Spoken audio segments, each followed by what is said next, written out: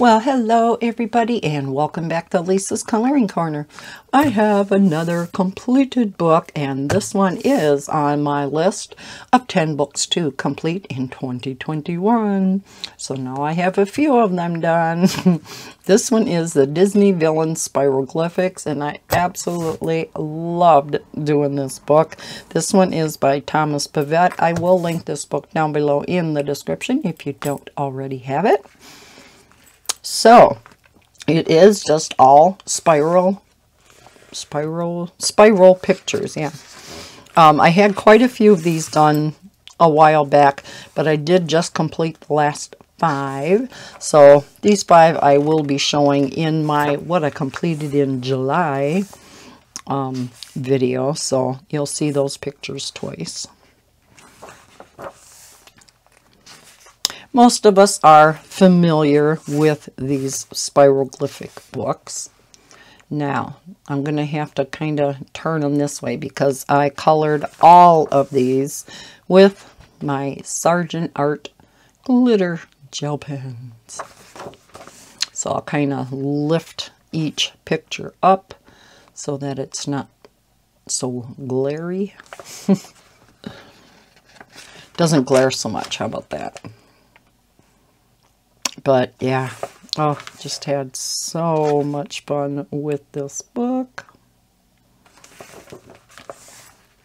Now I'll have to uh, get out his other spiral books and work on those.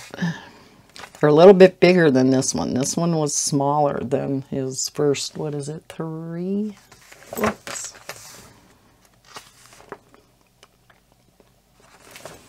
I want to work on his other newer one, which is the Harry Potter one.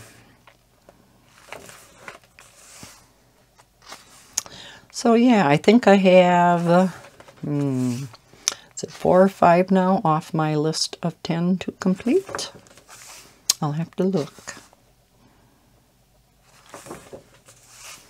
But yeah, these lines, dots, and spirals books are my nice stress-free coloring to do when I first get up in the morning before the grandkids come or sometimes at night. Now here are the last five that I did this month.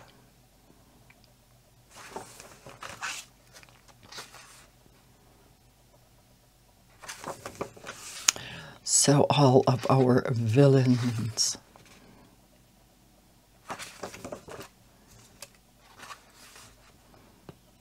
Now, I'm sorry if this is ruining the surprise for those of you who have this book and haven't completed it yet.